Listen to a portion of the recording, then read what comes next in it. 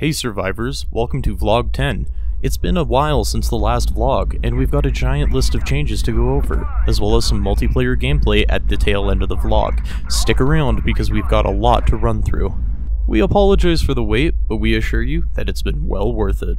Dead Man's Flats has received a polish pass and is now ready for an optimization pass. It's a town that's received a lot of love in the past and is essentially the first proper town to have been added to our world that meets our expectations of quality and scale. Dead Man's Flats contains quite a few unique locations in the town, including an apartment complex and a few motels for all of the would-be tourists that were once pouring in from Highway 1. We've been transitioning to a new level lead for getting work done on our world, and Kat has been doing a great job at fleshing out the world as well as getting a large amount of the groundwork laid down for Canmore. Canmore is the single largest town in Dead Matter and we cannot wait to see it get completed. We've brought on a new artist who goes by the name Nahito, and he's done some amazing work on some of the art assets that really bring Canmore to life. He's also done some work on adding some burned out vehicle variations, as well as light bars that will be usable on the police car when driving it around. Nahito has also created a gorgeous sign that'll be placed next to Highway 1, the main travel corridor of our world.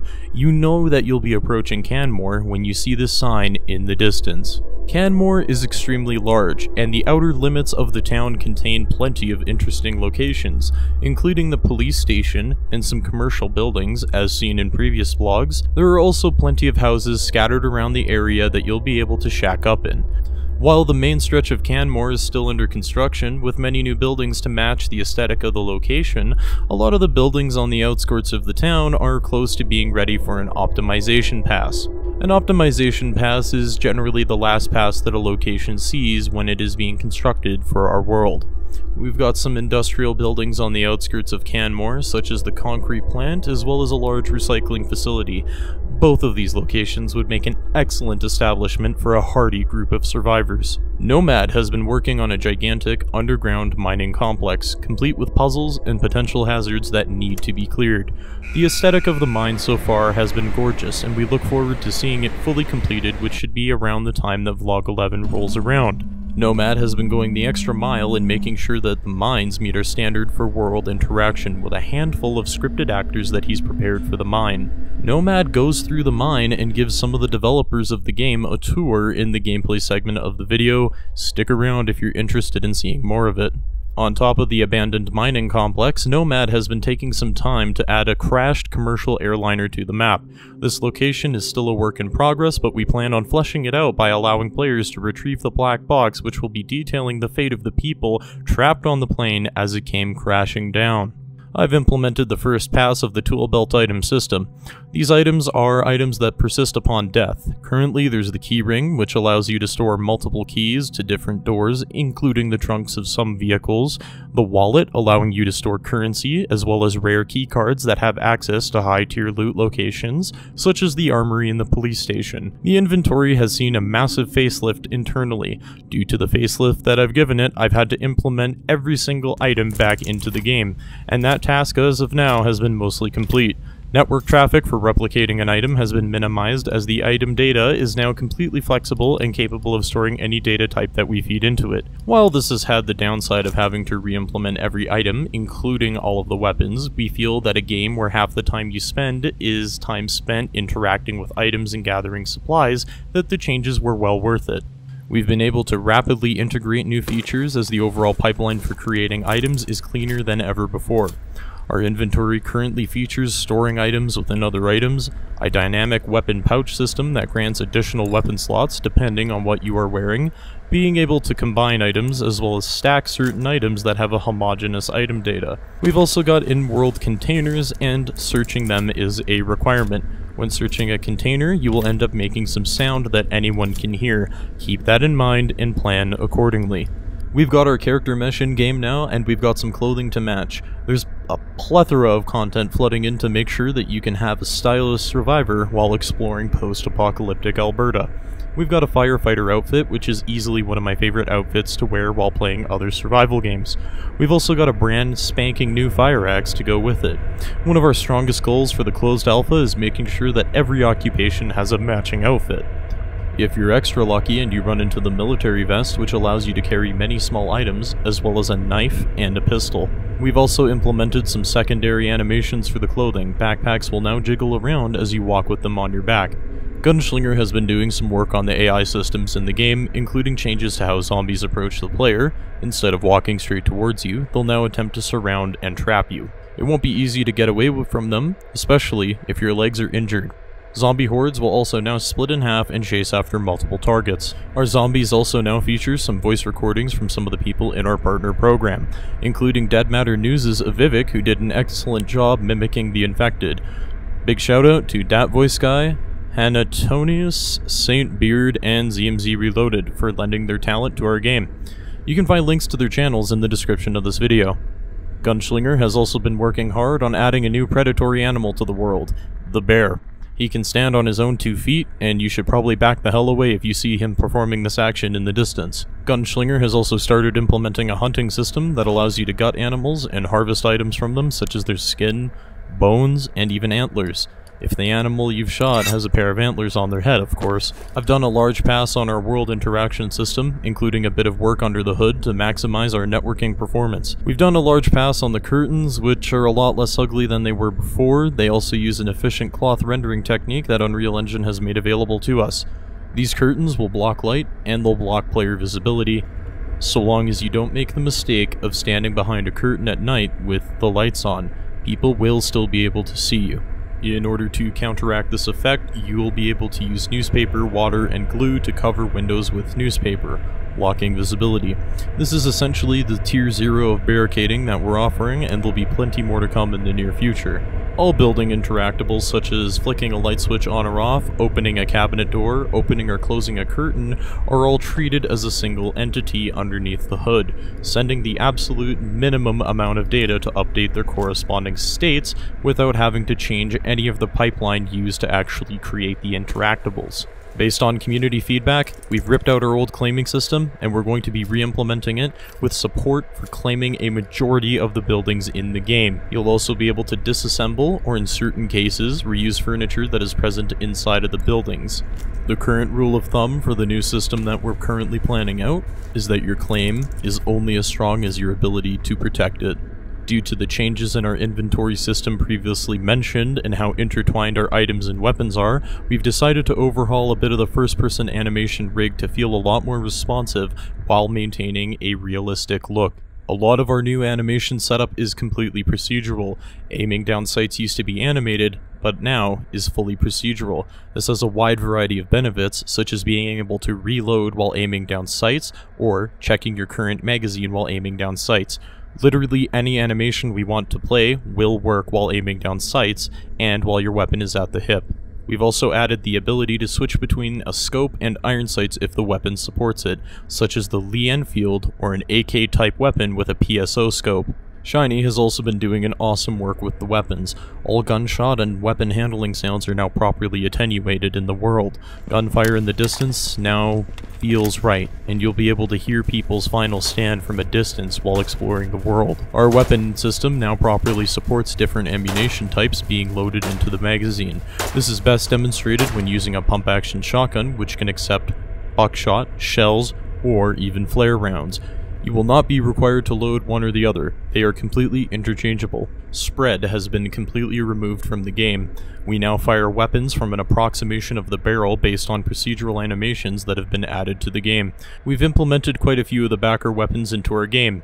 The new weapons include the SVD Dragunov, which is one of the most powerful sniper rifles in the game at the moment. We've also implemented the 416, which comes in a variety of different flavors. We haven't implemented the magnifier just yet, but by the time closed alpha rolls around, you'll be able to use it to increase the flexibility of your weapon. The 22 rifle that was seen in the last development vlog, which includes a 110 round drum magazine that I've nicknamed the Beehive, has been implemented into the game.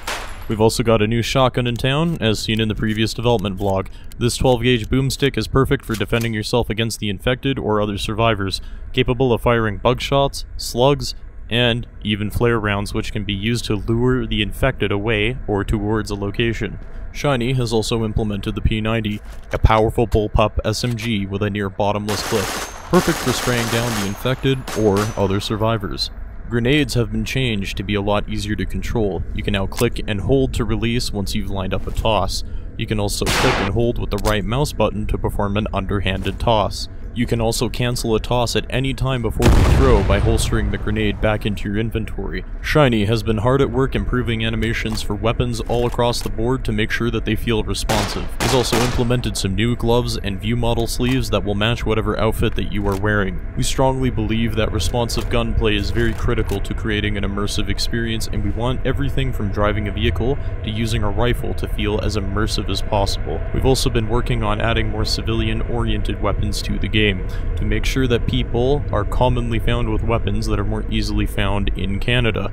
Stefan has also created a beautiful double barrel shotgun. The over and under shotgun was one of the first weapons that we originally implemented back in our Kickstarter days, and we're excited to see it make a comeback. Rizzler and Stefan have also created an M14 for one of our boomstick tier backers. He's done an excellent job on the weapon and we're stoked to see it implemented in-game. Thank you again to Markstrom for the support. We truly appreciate it from the bottom of our hearts. Vehicles have seen some additional work. We now have a functioning radio and a proper set of animations for driving in first person. The animations still have a little bit further to go, but we're quite satisfied with the result thus far. I've also done a pass on all of our static vehicles in the world. Vehicles can have their wheels and tires shot out, doors can be opened and closed, including the van. Random keys will also spawn in the world that will be tied to a vehicle trunk, potentially unlocking a source of tasty loot for you to enjoy. It's up to people to figure out which keys hold more values than others, and we're excited to see people experiment with them. All the static vehicles in our world will also feature a unique, randomly generated license plate or set of license plates if the driver originated from British Columbia before their demise in Alberta. Keep an eye out for easter eggs as we have vanity plate support on our license plate system. Disseminate has been doing a ton of work on the game's back end, as well as a few other features that have helped bring the world to life. He's written a UI manager that should help keep our user interface issues to a minimum. He's also rewritten the main menu and pretty much the entirety of our multiplayer backend.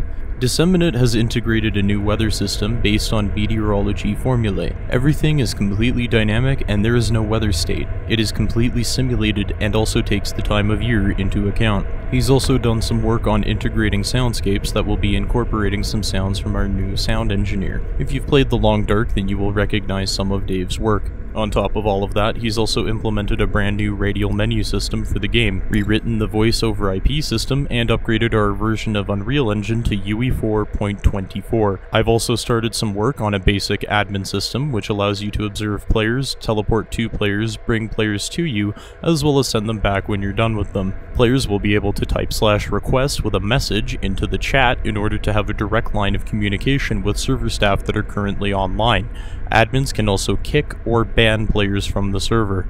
If you like what you've seen so far, please consider supporting us on Indiegogo or our own website. Links are in the description. We truly appreciate all of the support over the last couple of years and we are excited to play the game with our backers in the near future. We've now got some gameplay for you to enjoy for the rest of the video. Keep in mind we're still in a pre-alpha state and still have a few more months and bugs and features to go before you'll be able to hop in game. I personally promise that any issues that you may notice in this video will be cleaned up by the time you get your hands on it.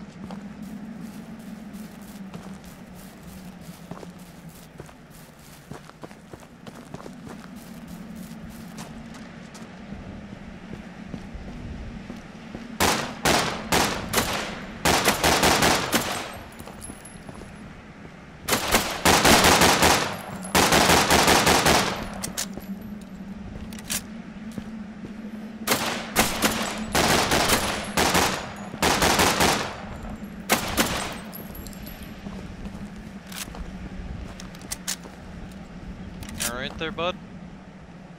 Hey! Thanks. Ah, there's one more. Where? In front of the station. Station. The front gas station. There's two, there's two. Good job, got him buddy. both. Good Oh job. god, he's stuck on the wall. Alright, you come down from there? Yeah, sure. Is there any like food or some shit left in here? I haven't Great. looted this yet. They chased me up the roof. I hadn't. I didn't have chance. Oh shit.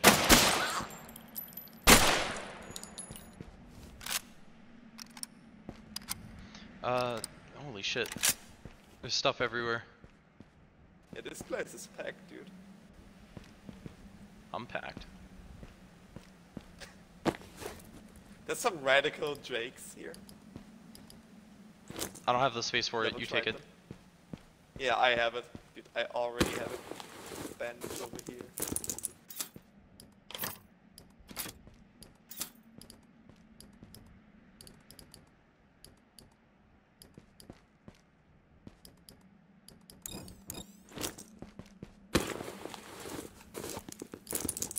Painkillers.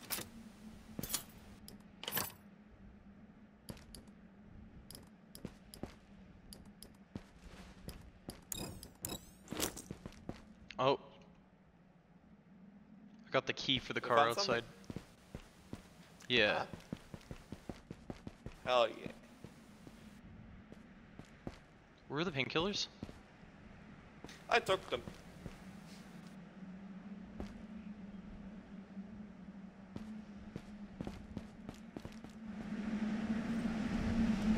Here, I'm gonna pop this open.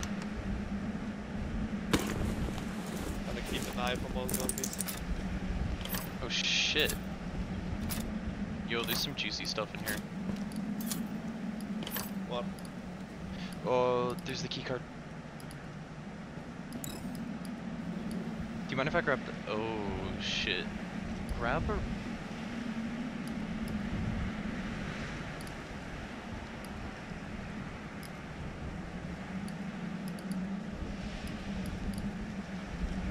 Grab the radio? Yeah. And the beanie if you want it. I, I stick with my booty.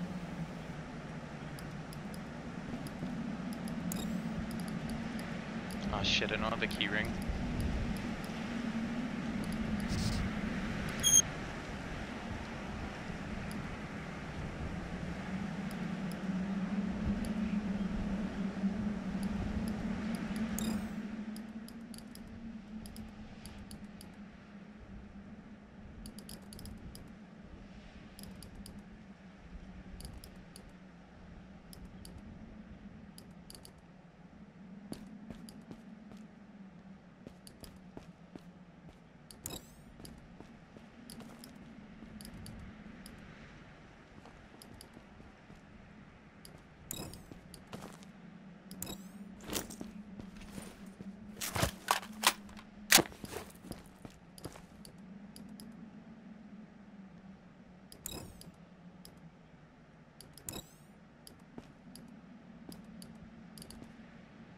Car, car.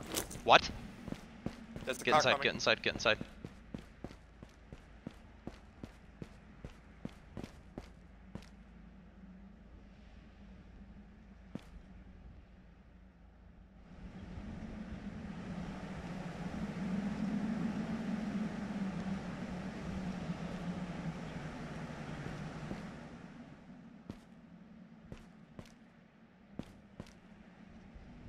Where the fuck did he go? I don't know, was driving down the street.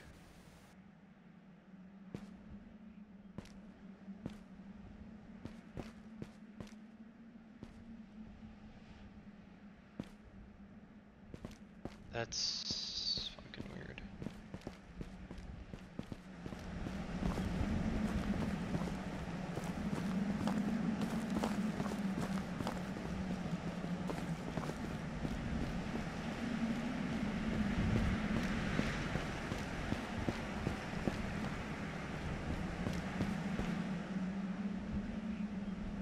Fuck. It's weird. Yeah, fuck. Nothing. Let's keep going. I've got the keycard for the police station.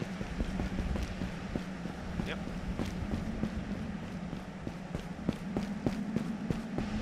Oh my god. Small body bags. Jeez.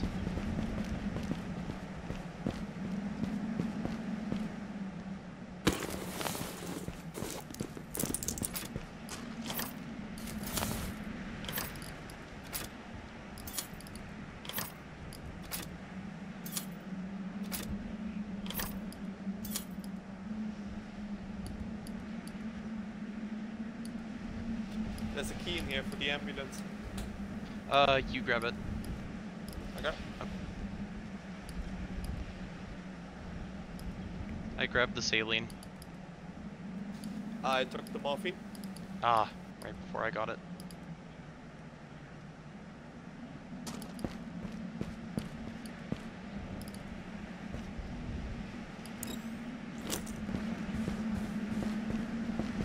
Um, which ambulance? Oh, never mind. There's just one. Okay, you want to Yeah, unlock this it? one. Yeah.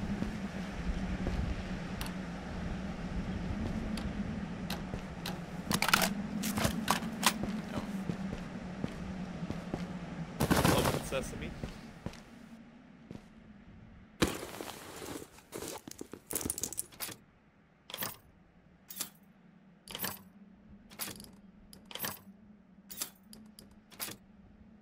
I've got blood.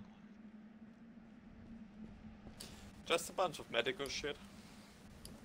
I'm taking the O negative.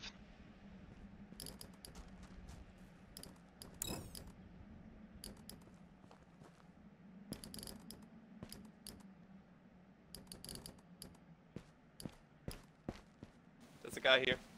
There's a guy. Hey, Hey, Whoa, hey. what's going on here? Oh, not much, not much. Came from down the road. I heard a bunch of shooting earlier. Oh yeah. So, uh, what items do you have on you? Oh, you know, just like some ammo scrapped t- together for my, uh... Yeah, I think you should drop it. and drop your shit, buddy. Oh, Drop it, drop it. Ow. Come on. Come on. Drop your pants. oh, come on. Drop your fucking Drop your pants. fucking pants. Drop your pants.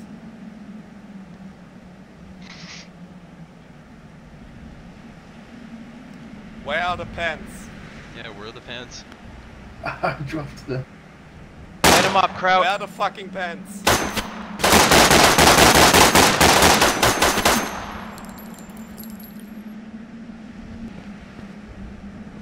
Yeah, that's coming. Yeah. Well, fault. Pants shouldn't have fallen through the world. You get the ammo? Yeah, I got the ammo. Sweet.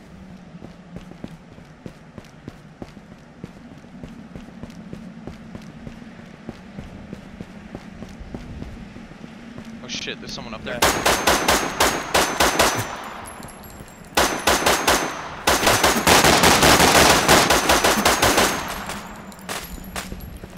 Go to cover. Go, go to cover.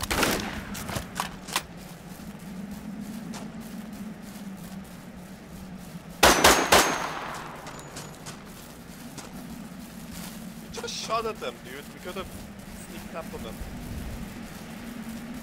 Well, you know me.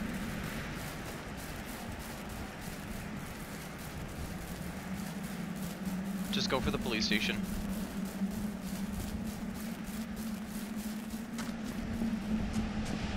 Don't you think they already looted them? Uh, not where we're going. My friend knows the secret.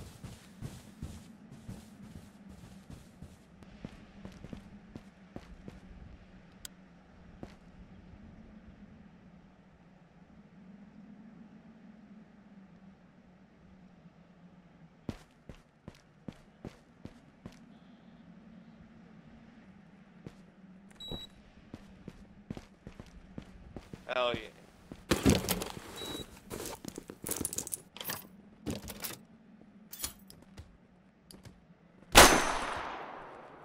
My bad. I'm pretty sure they already know that we're here, so...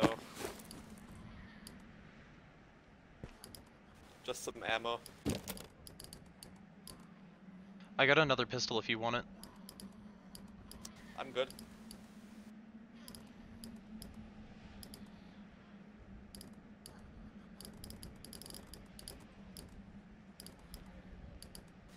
P90 mags, other mags.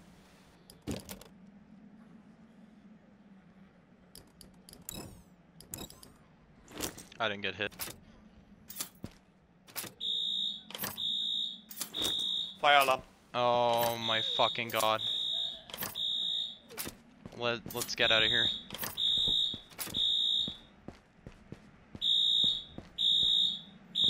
Yeah, I closed all of the doors.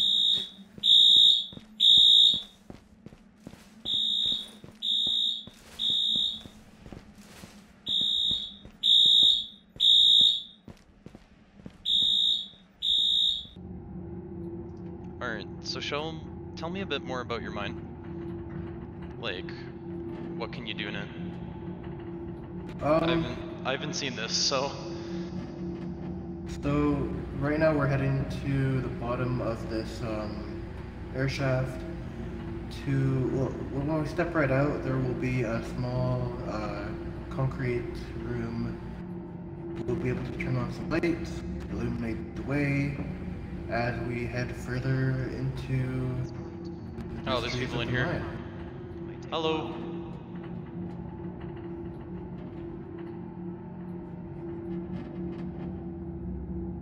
Hello.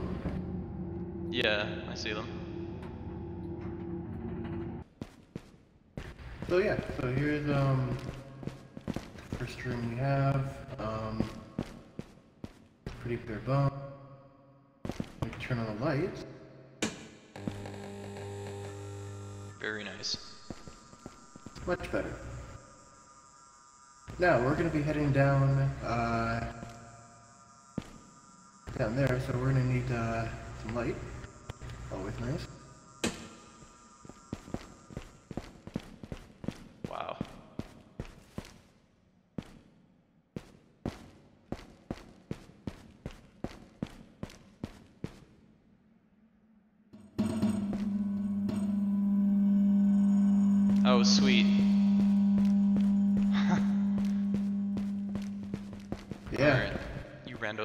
Gracias.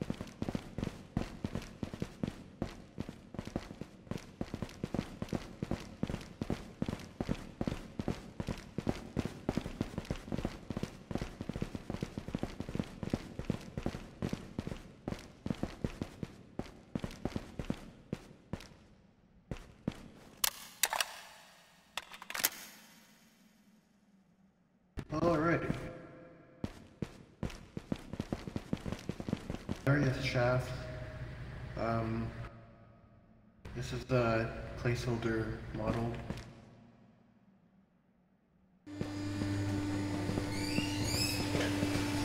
As long as you have power, you should be able to open it.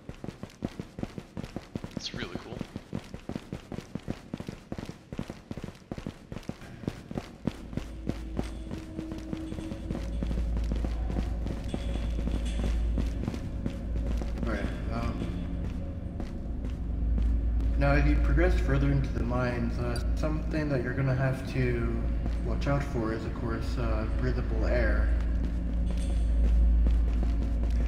So from time to time, you will have to reactivate uh, such a giant uh, air fans, uh, such as um, one in front of us. Holy shit, that thing is weight, man.